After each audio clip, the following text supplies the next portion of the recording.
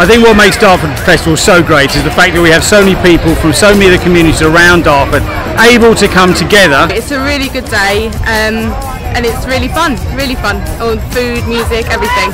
Everyone has fun. It's you know everyone enjoys themselves, and it's what's good about Dartford. spending time with quality people, um, enjoying the atmosphere and the weather.